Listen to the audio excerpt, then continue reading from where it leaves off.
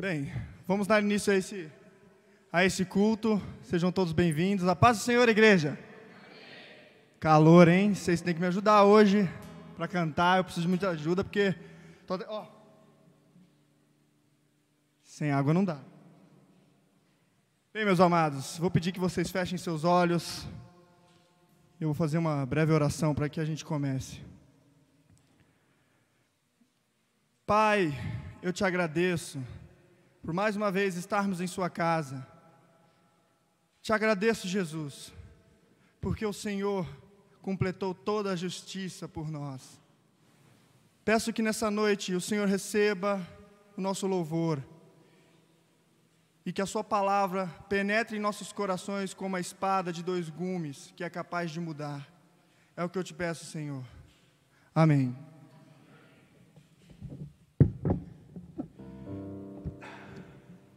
Meus irmãos, antes de pedir que vocês coloquem de pé, eu gostaria de fazer uma uma breve constatação que tive essa semana. Hoje, dia de eleição, o Brasil inteiro está atento para saber quem é que vai presidir pelos próximos quatro anos o nosso país. Fato é, meus irmãos, que só tem uma palavra na minha mente para o que está sendo essas eleições: nojo. Sinceramente, meus irmãos, é notório como o nome do nosso Senhor Jesus está sendo usado por, tu, por todos para angariar poder, dinheiro, votos. Esse povo não cansa, não cessa de usar o nome de Jesus. Pastores se vinculando à política. Meus irmãos, o mesmo povo que assassinou Jesus na cruz, ele está aí, não, não acabou. Esse povo continua sacrificando Jesus. Eu gostaria de fazer algumas leituras corridas. Marcos 15, 17. Vestiram-no de púrpura e, tecendo uma coroa de espinhos, lhe a puseram na cabeça. Davam-lhe na cabeça com um caniço, cuspiam nele. E, pondo-se de joelhos, o adoravam. Aquele povo se colocava de, de joelhos diante de Jesus, como uma forma de escarnecer com ele Quantas vezes não vi políticos indo em igrejas, fingindo que adoram a Cristo, rindo de Jesus. Depois de terem o escarnecido, despiram-lhe a púrpura e o vestiram com suas próprias vestes. Já notaram como o Jesus desse povo, ele se molda ao que o coração deles cobiça? O Jesus do, dessa atual sociedade, ele é moldável, pode tudo. Depois de, de terem aqui, então conduziram Jesus para fora com o fim de crucificarem e o saudavam, dizendo: Salve o Rei dos Judeus. Pouco mais para frente, Marcos 15, 32. Desça agora da cruz, ó Cristo, ó Rei de Israel, para que vejamos e creiamos. Sério, para que vejamos e, cre e creiamos. Marcos 8:11. E saindo os fariseus, puseram-se a discutir com ele, tentando pedir-lhe um sinal do céu. Jesus, porém, arrancou do seu íntimo, do espírito, um gemido e disse: Por que essa geração pede um sinal? Em verdade vos digo que a esta geração não se lhe dará sinal algum Igreja, para esses que usaram o nome de Jesus para fazer campanha, para ganhar poder, para ganhar dinheiro, hum, não tem sinal. Eles serão condenados. Mas eu não vou ficar aqui falando de coisa ruim, não. Sabe por quê? Porque essa casa aqui, ela pertence ao reino de Deus. Então vamos às notícias boas. O véu do santuário se rasgou do alto a baixo e agora nós podemos adentrar diante de Deus porque a justiça ela foi feita. Apocalipse 1:7 Eis que vem com as nuvens e todo olho verá até quantos os transpassaram, e todas as tribos da terra se lamentarão sobre ele. Certamente, amém.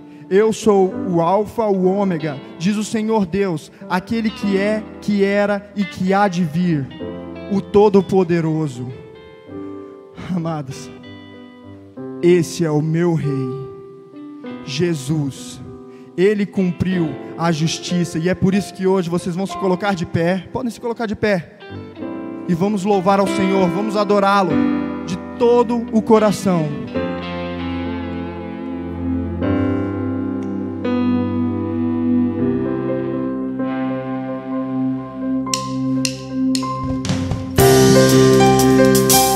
Vamos adorar o nome de Jesus. Ele é o verdadeiro Rei. Ele é o nosso sumo sacerdote.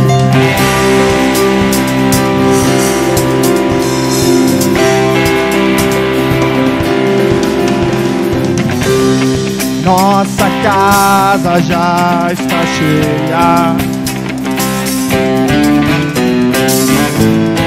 De alegria eu vou dançar.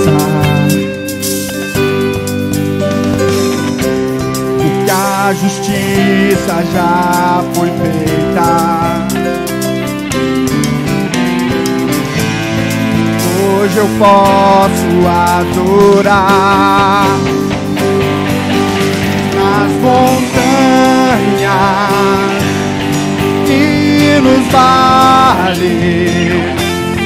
para sempre.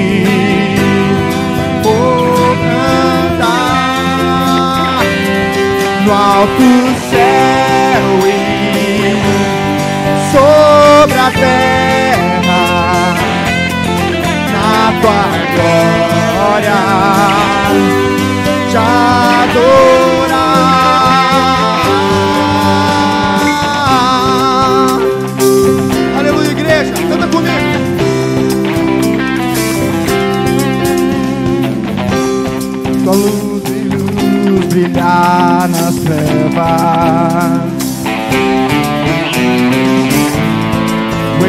Evangelho de Jesus anunciado em toda a terra, anunciado em toda a terra. O poder da sua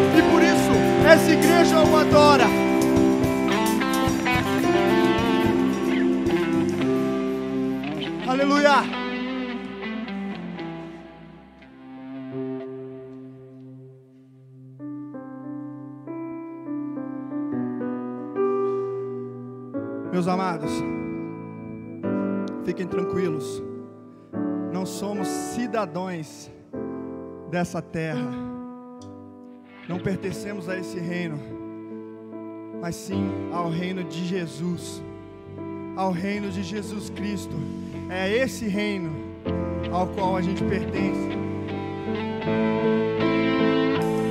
com valor, sem temor, firmes sempre até morrer.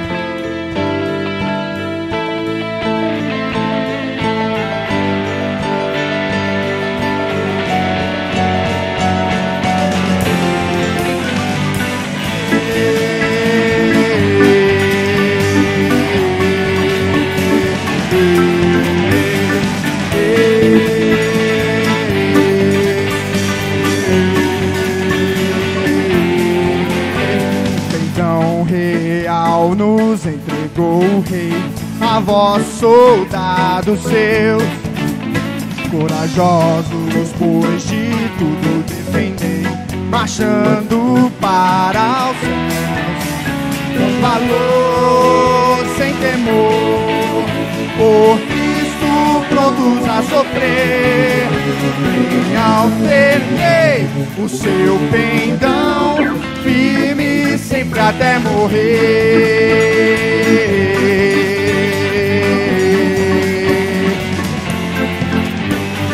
Formado já malignos batalhões do grande usurpador. Revelai-vos hoje, bravos campeões, avante sem temor, valor sem temor, por Cristo prontos a sofrer, alterei o seu pendão até morrer.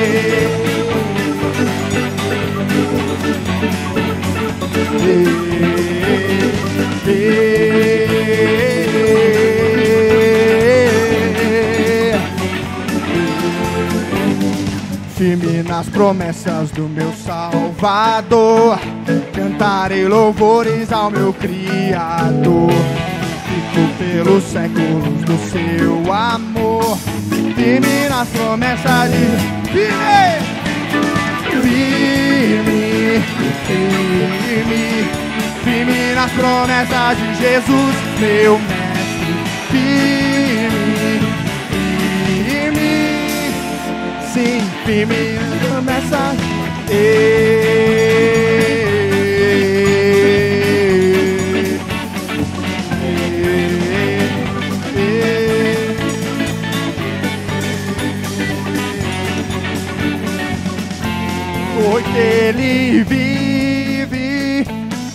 Posso crer no amanhã, porque ele vive. Temor não há, mas eu bem sei, eu sei que a minha vida está nas mãos do meu Jesus que vivo esteja.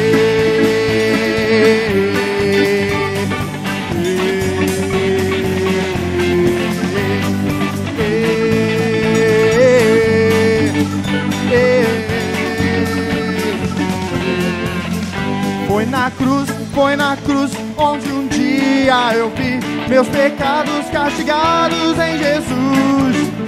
Foi ali pela fé que meus olhos abri me alegra, me alegro em sua cruz. Ó, com cego eu andei e perdido vaguei, longe, longe do meu Salvador. Mas a glória desceu e o seu sangue verteu para salvar pecador.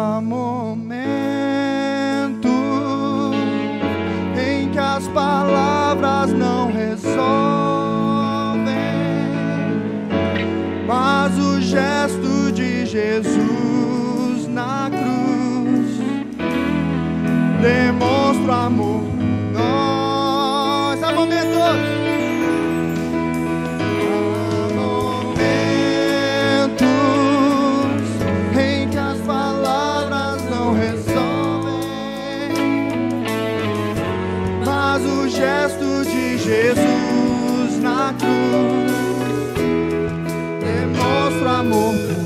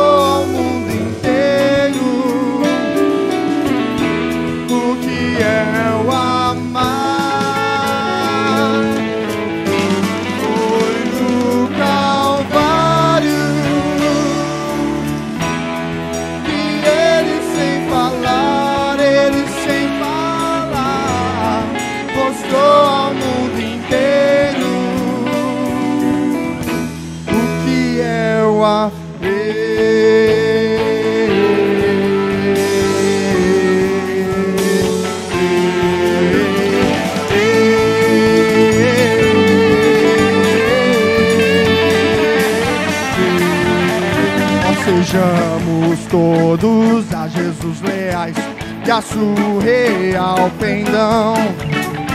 Os que na batalha sempre são fiéis, com ele reinarão. Com valor, sem temor, por Cristo produz a sofrer. vem ao o seu pendão, até morrer.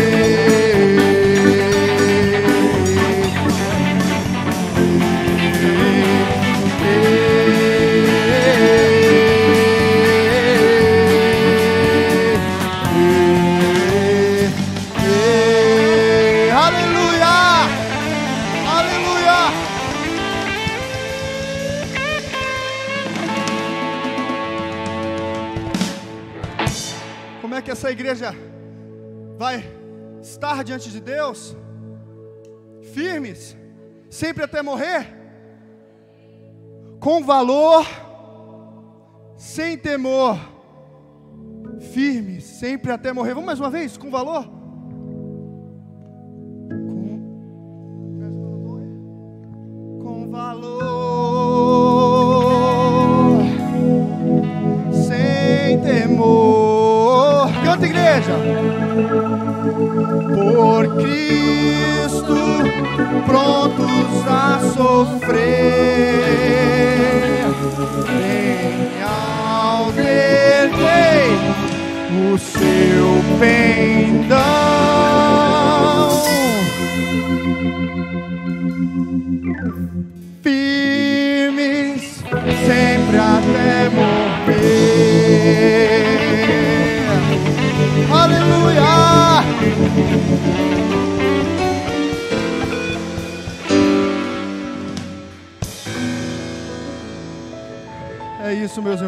Essa é a única esperança que Jesus vai voltar.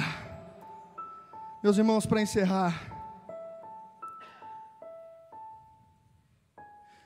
vida aos sepulcros.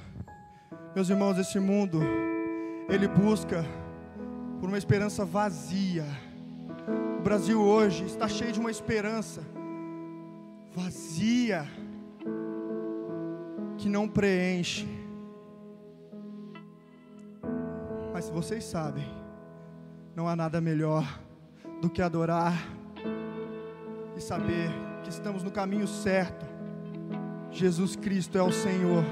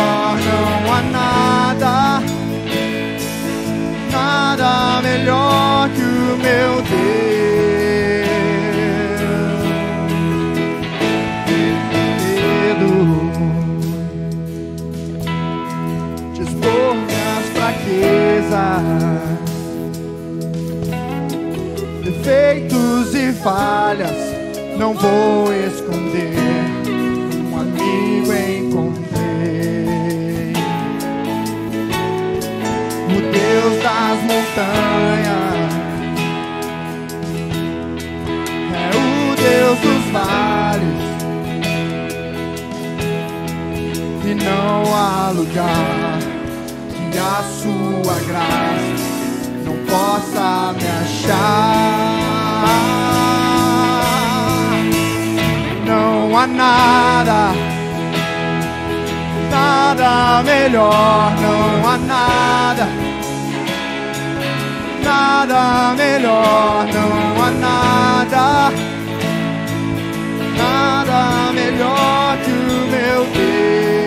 Não há nada, não há nada, nada melhor, não há nada. Nada melhor, não há nada, nada melhor que o meu Deus.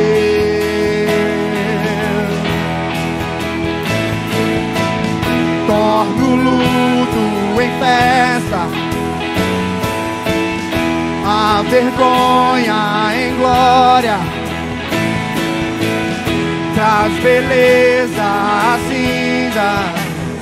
o Senhor pode fazer. Traz a vida aos sepulcros, faz de ossos soldados,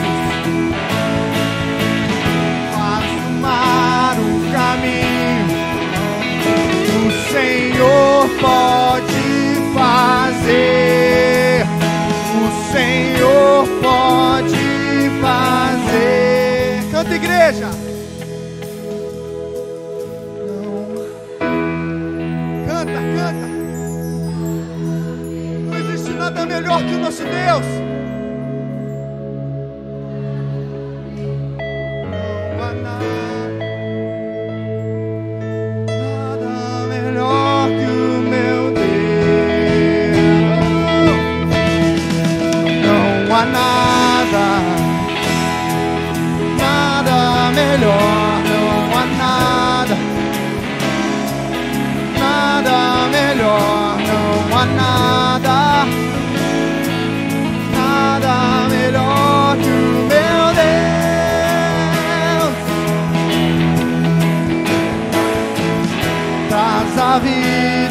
Sepulcros.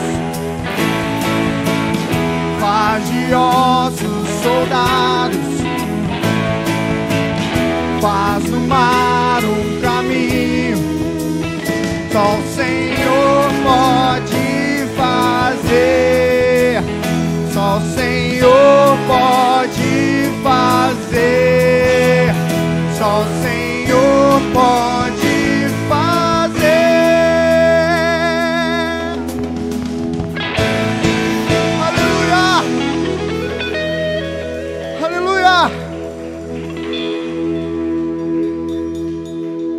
meus irmãos. Eu gostaria de chamar o pastor Henrique. Vamos agora para o momento mais importante.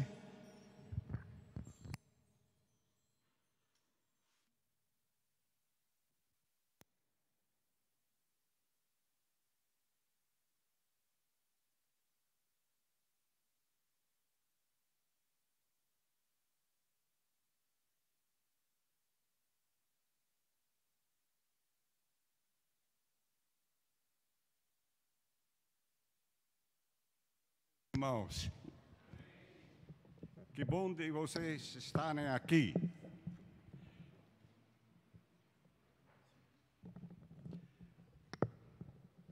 Outro dia estava lendo em casa um versículo muito conhecido. Mas a Bíblia é assim. Se um o, o, o versículo, por mais conhecido que seja, a gente sempre descobre uma coisa que fica até com surpresa, né? Como que não vi isso antes? Então, o versículo que estava lendo está em Romanos 3, versículo 23, que fala: Pois todos pecaram e carecem da glória de Deus. E ele, eu disse: Aleluia! Engraçado, né? Não por causa desta primeira parte. A primeira parte fala, né, que carecem ou estão destituídos. É outra tradução, né? Outra tradução bíblica. Fala carecem da glória de Deus. Então, esta parte realmente chamou a minha atenção.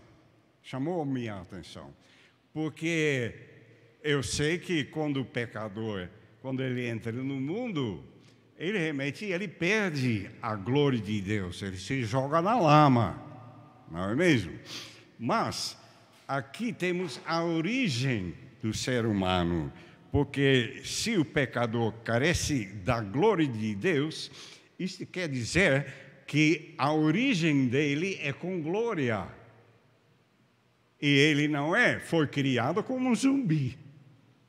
Claro que não, né? Deus não botou zumbis no paraíso, mas Adão e Eva foram coroados com a glória de Deus. É, agora eu falei mais outra coisa, né? Não somente, somente falei glória, né? Porque aqui fala carecem da glória de Deus. Então, o ser humano não foi criado, a sua origem não foi cheia de glória, mas cheia de glória de Deus. Por isso que eu falei aleluia. E é trágico que o, ser humano, quando entra no pecado, ele joga fora. Ele joga fora o que realmente é o alvo, era o alvo do ser humano. Então, eu fui pesquisando mais nesse versículo. E nesse versículo, né, chamei a atenção também que tem várias traduções desta palavra carecem. Já falei, né? Outra tradução fala são destituídos da glória de Deus. Então eu fui pesquisando esse verbo que Paulo estava usando e tem vários significados. Então eu vou ler algumas desses significados para vocês. Primeiro, ser de, deixado atrás na, na corrida. Quer dizer, a pessoa está numa corrida e fica para trás. É outra tradução, né? Então, aquele que carece da glória de Deus, ele estava numa corrida, ficou para trás. Falhou em alcançar o objetivo. É a mesma coisa, é? Só de palavras assim claras também, né? Se você se jogou no pecado, você perdeu o objetivo. A vida não tem mais objetivo. Outra tradução é não chegar no fim. Foi na metade, desistiu, né? Ou você, o pecador, é outro significado, é inferior do que deveria ser. Ele poderia ser, mas não é. Carece, né, desta glória. Então ele é inferior do que deveria ser. Por isso que ele está com baixa estima. Então, já lemos nesse texto carecer e já falei também sobre destituído da graça de Deus.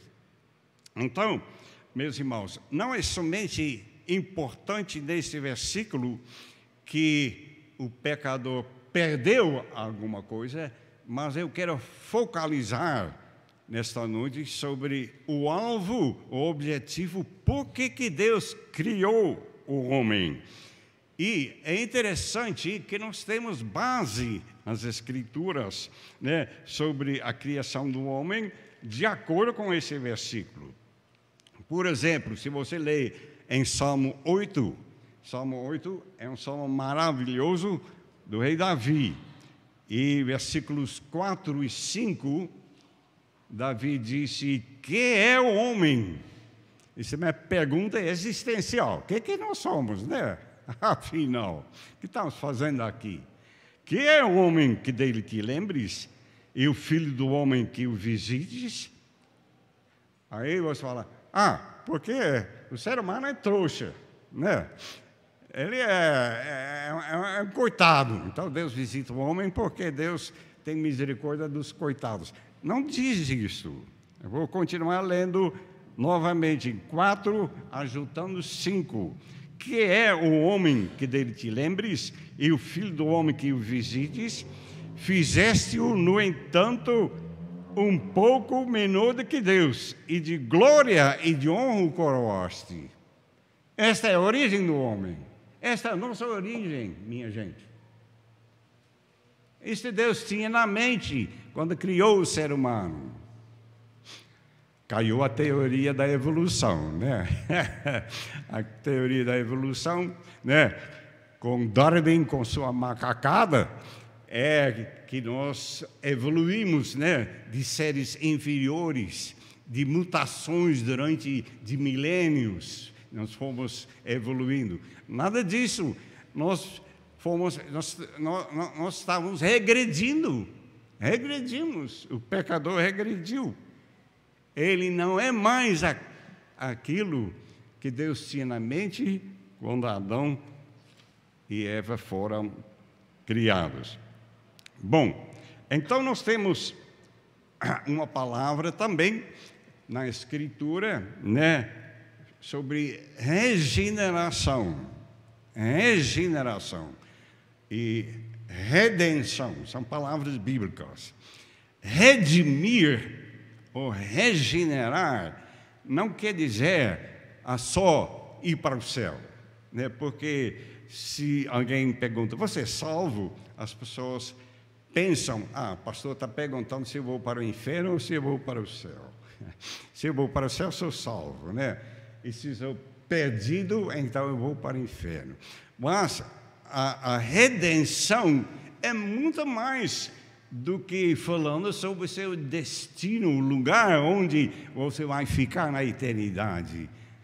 A origem da palavra redenção não é isso. A origem é que redimir é recuperar o que foi perdido. É, esta é redenção. Jesus, ele operou redenção para nós através da cruz. Quer dizer, para recuperar o que nós, o que foi perdido no paraíso. Então, se nós lemos sobre a glória de Deus que estava no ser humano, que ele foi coroado com glória e honra, redenção quer dizer que não que você vai subir ou descer, mas vai está dizendo que você pode ser hoje como Deus criou o homem, como que, o que, que ele tinha na mente quando o homem foi criado. Então é muito mais. Nós chamamos isso também a regeneração, né?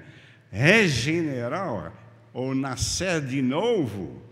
Até nós conhecemos essas expressões né, pela conversa de Jesus com Nicodemos, importa-vos nascer de novo, renascer, renascer. O, o, o, o, isso quer dizer, meus irmãos, não, não fala nada de lugar. Não fala onde, o lugar onde você vai passar a eternidade, mas sobre a sua qualidade de vida, que começa hoje e é para continuar toda a eternidade também. Não é mesmo?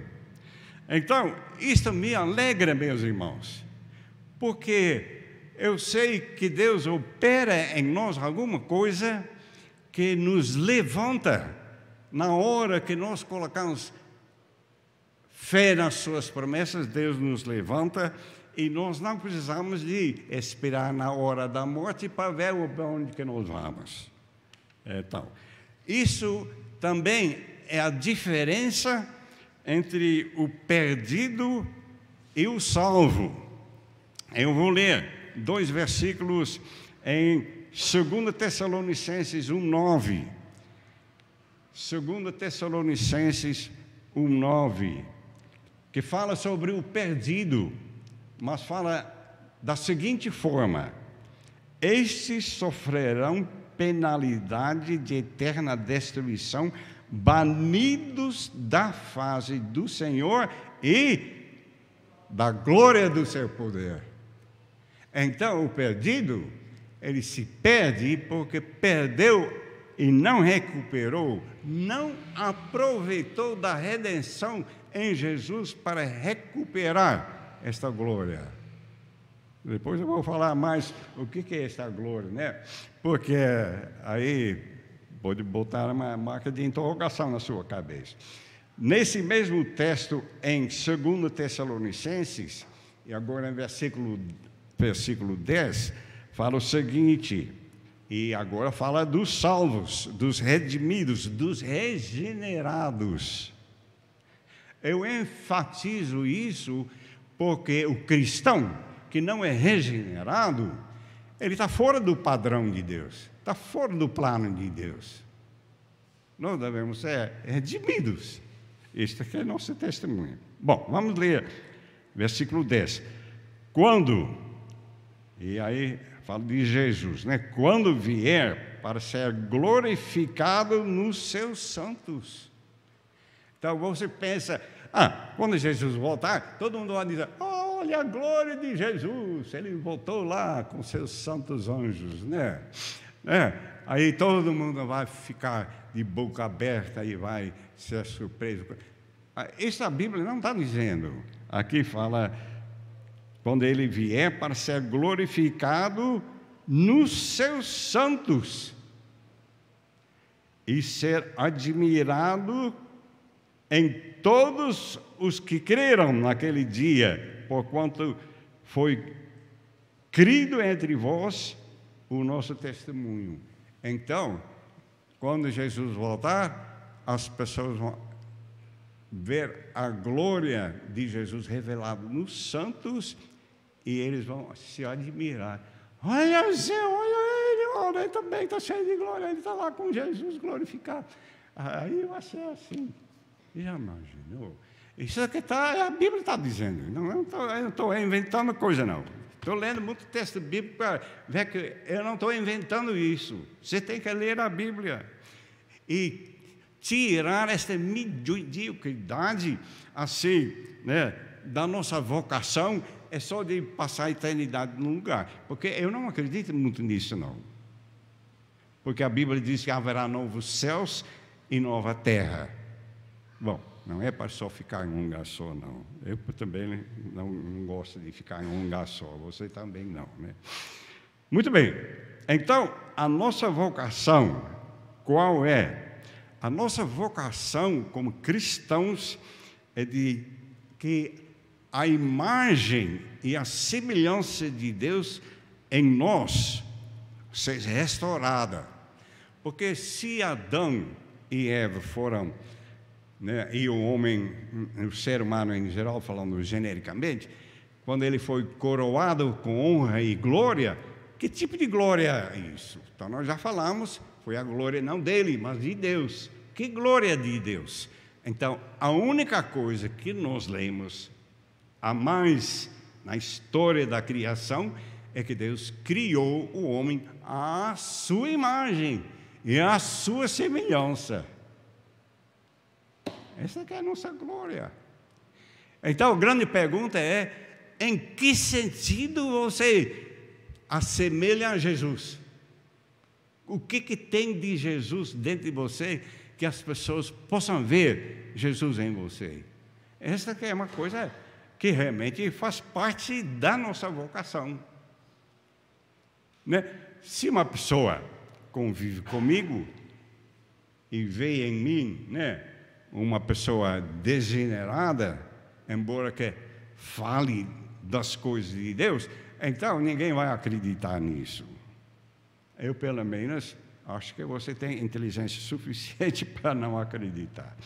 Então, a oração de Paulo a favor dos Tessalonicenses, nós lemos dois versículos sobre os Tessalonicenses, né, escrito a Tessalonicenses, foi que andassem dignos da sua vocação,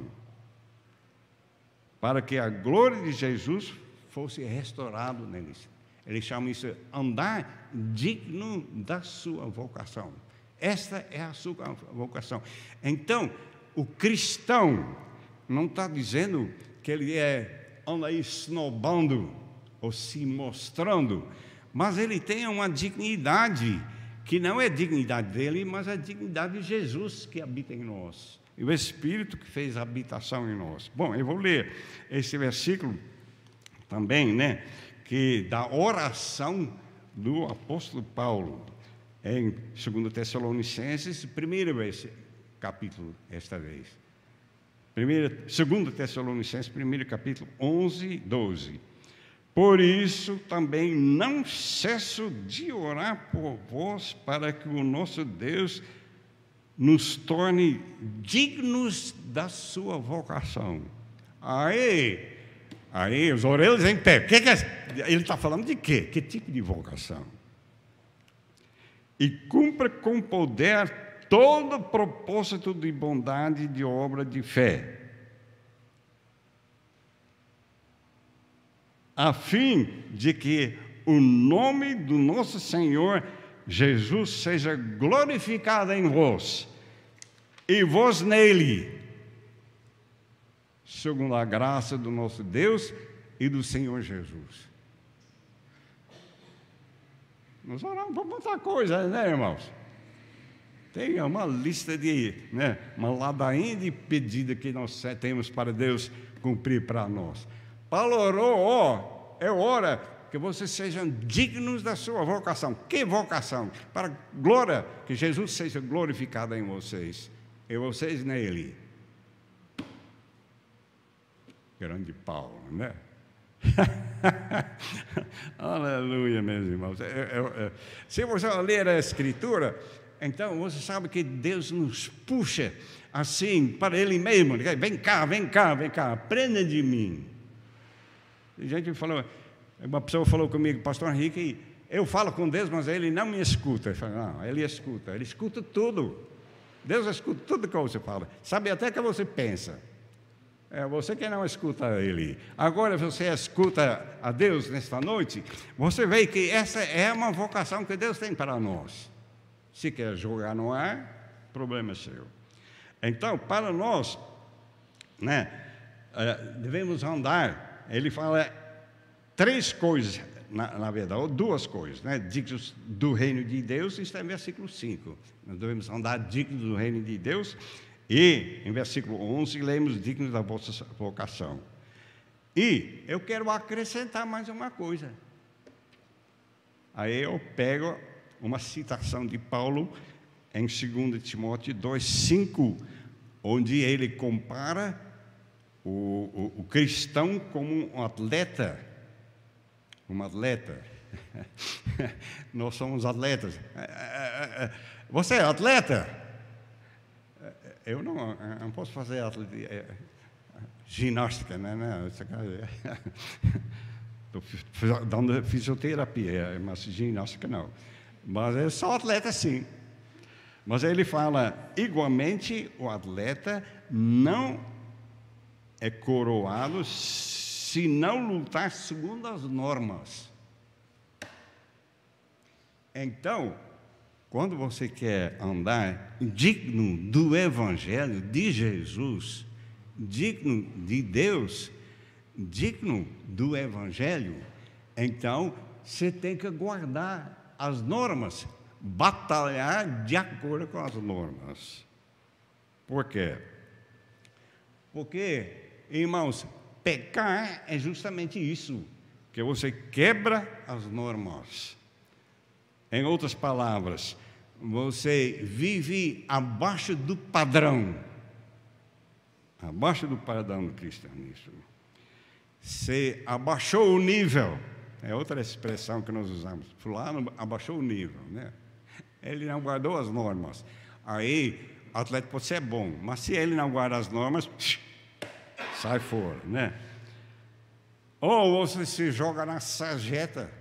É uma expressão né, mais drástica ainda. Fulano está na sarjeta. Pelo amor de Deus, né? Ou, mas tem no paraíso, no paraíso, tem outra expressão. Tem outra expressão. Que em Gênesis 3, que é o capítulo da queda do pecado, quando Adão e Eva pecaram, né?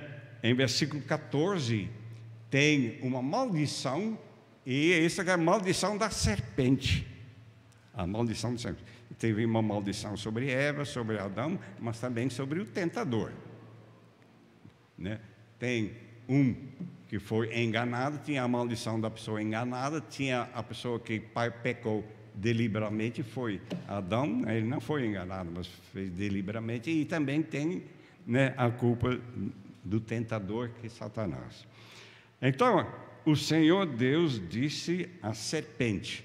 Bom, a serpente você tem que entender que a cultura judaica é uma cultura de simbolismos. Tudo que eles falam, expressam, explicam é por meio de símbolos. Entendeu? E nós sabemos que os gregos é a cultura da racionalidade, né? E nós somos mais influenciados pela cultura grega do que a cultura judaica. Mas, para explicar o simbolismo do Antigo Testamento, o Novo Testamento, que é escrito em grego, ajuda muito bem. Ajuda muito bem. Entendeu? Aí, nós lemos, Senhor, é o seguinte, né? Ele falou com a serpente: Visto que fizeste isso, maldito és entre todos os animais domésticos e e entre os animais selváticos. E aí a maldição: rastejarás sobre o teu ventre e comerás pó todos os dias da tua vida. Aí tem umas ideias erradas sobre essa expressão, né? Eu já tem livros que falam o seguinte, né?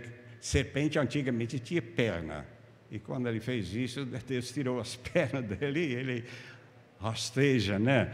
Ele fica assim, né? Rastejando sobre o ventre. Mas isso é bobagem, porque ele não está falando de serpente. Ele não está falando de serpente. Ele está falando de Satanás. O tentador é Satanás. Se ele se incorporou numa serpente, tudo bem, mas, quer dizer, é, é- é- é- é Satanás que foi o tentador. é um animal. Um animal não, né? E serpente também não come pó. É, já viu um, um serpente que come pó? Não, ele come bichinhos, né? Até bichinho fivinho, né? Ratos, passarinhos e etc, etc, né? E até poder comer, né? Animal maior. Bom, então, meus irmãos, Eva não foi seduzida por um animal. E a serpente não perdeu naquele dia as pernas. Isso que é bobagem. E Jesus veio para esmagar a cabeça da serpente. Ele não está falando de cobra. Jesus morreu para esmagar a cabeça de uma serpente? Não, para esmagar a cabeça de Satanás. Não está tá falando de Satanás, não de ser- serpente. E isso pode confer- conferir, né? em Gênesis 3,15, é a primeira promessa messiânica, a primeira promessa o que Jesus vai fazer por nós. Que fala, porque porém inimizade entre ti, que é o diabo, e a mulher, é Eva, né? E o diabo. Entre a tua descendência e o seu descendente. Então, o seu descendente, explica Paulo, isso é Jesus. Quer dizer que de- o descendente é Jesus que esmagará a cabeça da serpente. Este te ferirá a cabeça e tu lhe tirás, ferirás o calcanhar. Bom, Apocalipse diz: e foi expulso o grande dragão, a antiga serpente. Quem foi? Que se chama Diabo e Satanás, o sedutor de todo mundo. Sim, foi atirada para a terra e com ele os seus anjos. Então, meus irmãos, você vai ver que é uma linguagem simbólica. Se você começa a seguir a palavra de Satanás, se deixar tentar por ele, ao invés de ouvir a palavra de Deus, aí então, em vez de você comer a palavra do Senhor, você vai comer pó e rastejar sobre o seu ventre comendo pó. Você jogou na lama, você jogou no mundão. Você conhece um pouco o mundão? Crente não pode se identificar com isso, embora que nós, Deus não nos tire do mundo, mas nos guarda do mal. Né? Isso é Jesus Cristo. Estamos aqui para pregar o Evangelho. Então não foi nem a cobra, mas Satanás que foi amaldiçoado para rastejar sobre o seu ventre com pó. E a maldição passou para todos que seguem Satanás. Por isso, Jesus também falou com os fariseus que seriam raça de víboras, descendentes daquela serpente, né? raça de víboras. João Batista também usou esta expressão. Ele disse raça de víboras. Quando os fariseus queriam ser batizados, João Batista não batizou, não. Disse raça de víboras. Você quer fugir da ira vindoura? Né? Produzir, pois, fruto digno de arrependimento. Aí vem aquela palavra digno, de novo, né? Digno de arrependimento. E assim, meus irmãos, lendo o Novo Testamento e pegando os versículos também, né? Conferindo no Antigo Testamento, nós lemos, irmãos, que realmente a questão realmente é que Jesus veio para esmagar o diabo tentador. Ele já foi esmagado. A cabeça dele já foi esmagada. Já foi vencido 2023 anos atrás. Amém? Na cruz do Calvário, ele foi exposto à ignomínia, foi vencido, porque ele é o acusador, tentador e acusador dos irmãos. Mas Jesus tirou toda a força dele, pagando a culpa do mundo inteiro. Então, ninguém pode dizer isso não é para mim, porque Jesus morreu tanto para você como para você, para você, para todo mundo. Amém. Ainda quero me referir, meus irmãos, que Adão e Eva foram criadas à imagem e semelhança de Deus. E que o homem foi criado tendo a glória de Deus. E o pecador, ele carente, ele carece da glória de Deus. Mas é sempre a glória de Deus.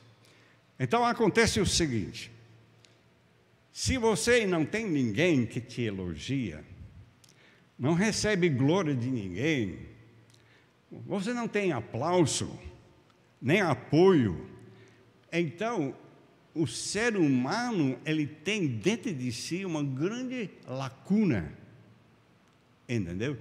Ele tem uma necessidade de receber a glória, porque se nós temos a glória de Deus e perdemos a glória de Deus, como que nós vamos preencher esse vazio? Entendeu? Entendeu? Porque o ser humano, ele faz tudo para receber um pouco de glória dos outros. Ele até se mostra assim o que não é, entendeu? Tem cara de santo quando não tem nada de santo, né? E até usa religião para isso. Isso acontece, né? Que realmente o ser humano ele busca a própria glória. Por quê? Porque lhe falta a glória de Deus. Ah, ele se sente assim com baixa estima. Ele se sente furtado, ele não tem esta coisa, né? Imagina se você tivesse, se você tivesse o Espírito habitando dentro de você e uma pessoa regenerada pelo poder do Espírito, aí você precisa assim de se alimentar com a glória dos homens. Mas os fariseus fizeram isso. E por isso Jesus os chamou raça de víboras, descendentes daquela serpente. Porque o diabo realmente fez isso. Ele era anjo de luz, estrela da alva, não é mesmo? Aí que ele pecou. E por que, que ele pecou? Porque queria derrubar Deus do seu trono. Falei, é, me falta só uma coisa, aquele trono de Deus. Então, aí os fariseus. Então, o que, que os fariseus fizeram? Eles praticaram as suas obras religiosas com o fim de ser honrado pelos homens. Isso é, é, é, é legítimo. Segundo, gostavam de orar em pé nas sinagogas e nos cantos das praças para serem vistos pelos homens. É uma coisa engraçada? Imagina, né? Você passa lá uma praça e lá estou eu estou orando, estou orando, né? Fazendo uma longa oração, né? Aí você, todo mundo subiu, ah, todo mundo foi embora, então para a minha oração. Por que, que eles estão orando lá? Para ser visto pelos homens. Jesus disse: se você quer orar, entra no seu aposento. E lá, ora a Deus em oculto, e Deus te recompensará. Se vestiam com roupas clericais, aquelas roupas cheias de franja, né? e por que, que um religioso tem que ter roupa especial? Você já me explica isso? Como você me explica isso? Jesus se vestiu normalmente como todos os demais. Não havia diferença nenhuma. Amaram os primeiros lugares nos banquetes. Bom, isso é até bom, né? Essa é a primeira para ser servida. E nas sinagogas também. Queriam assentar na plataforma, né? Lá, queria ser visto pelos homens gostavam das saudações das praças. Isso tudo Jesus disse. E gostavam de ser chamados com títulos honoríficos. Eles gostam de ser chamados mestres, pais e guias. Como que realmente o homem tem coragem de usar religião para receber a honra dos homens? Mas hoje as coisas não mudaram muito, não. Isso acontece hoje também. Entendeu?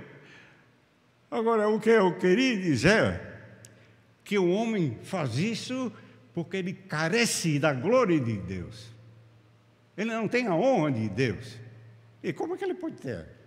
Se ele anda no pecado. Então ele tenta de preencher este vazio. Agora eu vou ler sobre Jesus, porque afinal eu estou aqui de falar de Jesus e não de um monte, um monte de outra gente. Né? Quando Jesus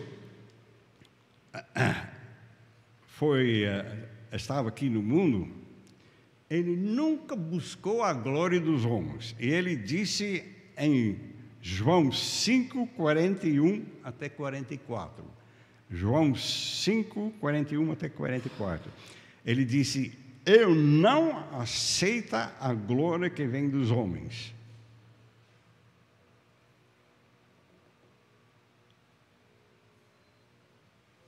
Grande Jesus, né? Gosta, de, gosta mais de Jesus agora. Porque ele não precisava disso, né? Sei, entretanto, que não tendes em vós o amor de Deus. Então, se uma pessoa tem em si o amor de Deus, não precisa da glória do homem. Está explicado, meus irmãos. Entretanto, não, não tendes em vós o amor de Deus. Eu vim em nome de meu Pai e não me recebeis. Se outro vier em seu próprio nome, certamente o recebereis. Aí Jesus disse outra, outra colocação, ele disse, como podeis crer, vós, os que aceitais glória uns dos outros, contudo não procurais a glória que vem do Deus único? Você tem que ler isso algumas vezes e pensar: será que eu ainda sou sensível para receber a glória dos homens e faço as coisas para ser visto pelos homens? Então, primeiro, não tem em mim o amor de Deus, e segundo, né? Eu, o que, que ele mais disse? Ele não tem fé, como podeis crer, vós que procurais glória uns dos outros. E a coisa, a escritura mais assim emocionante é a oração de Jesus, sua oração de despedida, o que nós também chamamos oração sacerdotal. Jesus, ele orou assim, tendo Jesus falado essas coisas, levantou, levantou os olhos ao céu e disse: Pai, é chegada a hora glorifica a teu filho, para que o filho te glorifique a ti. Isto é João 17, primeiro versículo. E como que eu posso glorificar Jesus se eu tenho cara de zumbi? Ou sou uma pessoa totalmente complexado, baixa estima, amargurado. Como que eu posso fazer isso?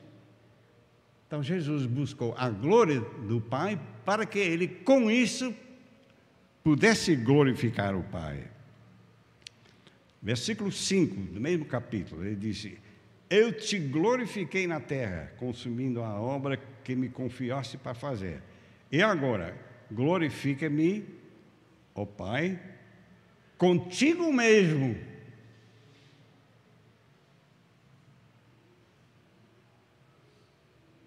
Jesus não disse que ele não estava buscando a própria glória. Ele disse: Me glorifique contigo mesmo. Se a glória de Jesus foi a glória do Pai, de onde nós recebemos então a nossa glória? Com a glória que eu tive junto de ti, antes que houvesse mundo. Oh, meus irmãos, isso é fabuloso. E nós temos, é curioso, nós temos assim histórias sobre isso, né? Provas históricas Por exemplo, Moisés, quando ele subiu no Monte Sinai e desceu com as dez tábuas, o seu rosto, sua pele era resplandecente. Tanto que o povo de Israel tinha medo dele, então ele se cobriu, cobriu o rosto com, eh, com véu, né? Você pode ler isso, livro de Êxodo. E tem mais pessoas, por exemplo, quando Jesus foi transfigurado no monte, você sabe, né, que Jesus foi glorificado no monte. Eles olharam para Jesus e a aparência dele foi todo brilhante, né? E junto com Jesus estava Moisés e Elias. Eu vou até ler isso em Lucas 9, 29 e 31. E, e aconteceu que enquanto ele, Jesus, né, orava, a aparência do seu rosto se transfigurou e as suas vestes resplandeceram de branco. Eis que dois farões falavam com ele, Moisés e Elias, os quais apareceram em glória, participaram daquilo. Mas Pedro, João e Tiago também estavam junto lá. E por que, que eles não foram também revestidos de glória? É porque Jesus, você pode ler, né, que Jesus subiu no monte para orar. E chamou os três para orar junto com ele. Então foi Pedro, João e Tiago. E a Bíblia diz que eles foram pegados de sono. Você já orou com sono? Ô Senhor, aleluia, graças a Deus. Daqui em pouco você está dormindo diante da face do Senhor, né? Meus irmãos, eu estava dormindo. Fizeram a mesma coisa no jardim de Getsemane. Jesus chamou os três para orar junto, né? E Jesus estava em agonia. Aí ele voltou e viu lá os, os discípulos dormindo. Ele disse: Você não pode nem uma, uma- hora vigiar comigo? Orar e vigiar. hein?" Mas a Bíblia fala que eles estavam, também Lucas fala, eles estavam dormindo de tristeza. o sono para eles, às vezes, era uma fuga, né? Se você está muito triste, não tem saída, vai dormir um pouco, né? É uma fuga, né? tem gente que faz isso, né? É até uma fuga, uma fuga muito boa. Moisés e Elias também foram glorificados. É, em Getsemane foi um anjo que consolou. Deus mandou um anjo, porque os discípulos deram em nada. Muito bem, meus irmãos, quer dizer, quando nós andamos com Jesus, aí Ele nos regenera, Ele nos dá uma vida nova. Essa vida nova não é algo que nunca existiu. Essa vida nova era a vida que Deus nos deu quando nos criou. Isso chama redenção. Recuperar, redimir alguma coisa que foi perdida. É a glória de Deus nos homens. E isso, irmãos, tem um lado, eu não diga, é, talvez para alguns negativos, porque em Romanos 8, 17 e 18, o apóstolo Paulo diz: Ora, se somos filhos, somos também herdeiros, herdeiros de Deus e co-herdeiros com Cristo. E depois ele fala: se com ele sofremos, também com ele seremos glorificados. Bom, sujou, né, irmãos? oh, aí, e tem até entre os, as autoridades religiosas, os principais lá, né, os mandantes lá em Israel, tinha muita gente que acreditava em Jesus, mas eles não se identificaram com ele porque estavam com medo de ser expulsos da sinagoga. Porque Jesus disse, porque amaram mais a glória de Deus do que a, a glória dos homens do que a glória de Deus. É, tem uma hora que vai sofrer, mas eu prefiro sofrer e ser revestido com a glória de Deus, participar do sofrimento de Cristo para participar da sua glória, né, glória, do que realmente cair nesse mundo. Bom, vou concluir a leitura em 2 Tessalonicenses 1, a partir do versículo 3. 2 Tessalonicenses 1, versículo 3. Irmãos, cumpre-nos dar sempre graça a Deus no tocante a vós outros, como é justo, pois a vossa fé cresce sobremaneira, e o vosso muito amor de uns para com os outros vai aumentando. Graças a Deus. Versículo 4.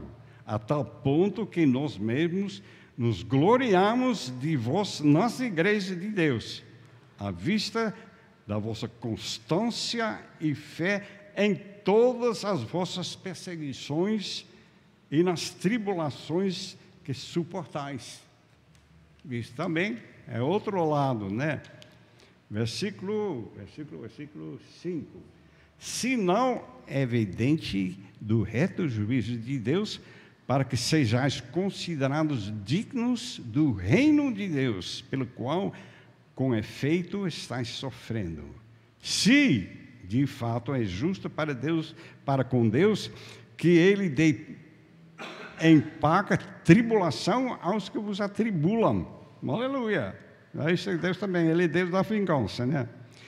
E a vós outros que sois atribulados, alívio juntamente conosco, quando do céu se manifestar o Senhor Jesus com seus anjos e o seu poder em chama de fogo, tomando vingança contra os que não conhecem a Deus e contra os que não obedecem ao Evangelho nosso Senhor Jesus Cristo. Esses sofrerão penalidade eterna, de eterna destruição, e fala de destruição, é banidos da face do Senhor, da sua glória do seu poder.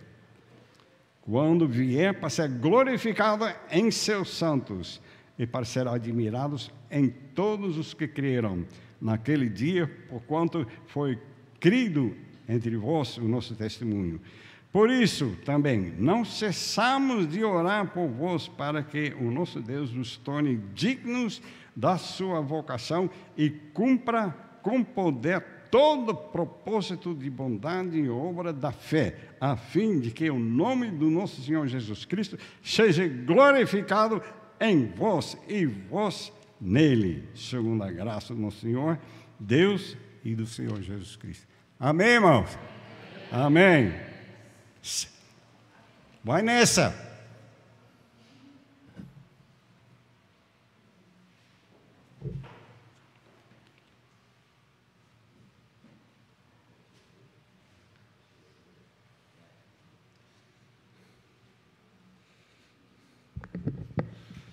Paz, igreja.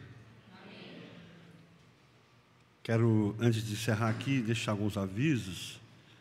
É, lembrando para vocês que nós temos um jantar de Natal no dia 23 do 12. Então, 23 de dezembro. É, que hora nós marcamos, filha?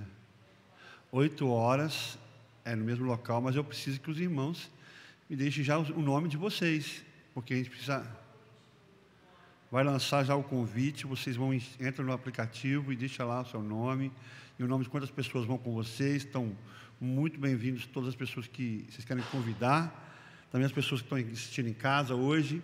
Quero também dizer para vocês que são bem-vindos. É, eu quero também dizer que no dia 25 do 12, é, então no dia 24 por 25 vocês estão com a família, no dia 25 à noite vai ter o culto de Natal aqui na nossa igreja. E o culto de virada vai ser no dia 1 também no domingo 1 à noite aqui às 7 horas. Amém? Tudo certo? Estou vendo ali um casal novo perto da irmã Francisca. Quem é? Eu já conheço ou não? Tatiana. Ah, mas eu lembro dela, pequenininha. Mas eu lembro dela, se ela novinha aqui, corria, papapá. Tá bom. E, e do lado? Quem é está do lado? Como é que você chama? André. André e Tatiana. Como é que nós recebemos eles, igreja? Muito bem-vindos. Bem-vindos de volta aqui, viu? Pode voltar sempre. Amém? Irmãos, então é isso. Quero pedir que vocês coloquem de pé e eu vou estar orando. E, e aconselho vocês agora a voltarem com cuidado para casa. Hã? A voltar com cuidado para casa, porque eu acho que está encerrando agora essa questão da eleição, né? E não sei, tem muita gente louca aí, então todo mundo muito atento no trânsito, volta para casa, né? E fica, é, nós vamos é, ouvir depois como que ficou. Quero orar com vocês. Senhor Jesus, muito obrigado por esse dia, por essa palavra maravilhosa que o Senhor nos deu. Senhor, nós pedimos realmente que nós somos dignos em Jesus de ser preenchido com a glória que nós mesmos perdemos. Que nós jamais possamos desejar a glória para nós mesmos, glória dos homens, a glória do nosso próprio egoísmo, dos nossos pensamentos, das nossas vontades carnais, Senhor, que, que possa prevalecer em nós e ser predominante até aquele dia que nós vamos reunir com o Senhor e glorificar Teu nome eternamente. Em nome de Jesus e toda a igreja diga. Amém. E que o amor de Deus e a graça do nosso Senhor Jesus Cristo e a comunhão e a consolação no Espírito Santo seja com todos e sobre todos, até que Ele venha e Ele vem breve. Maranata, venha o Senhor Jesus. Paz!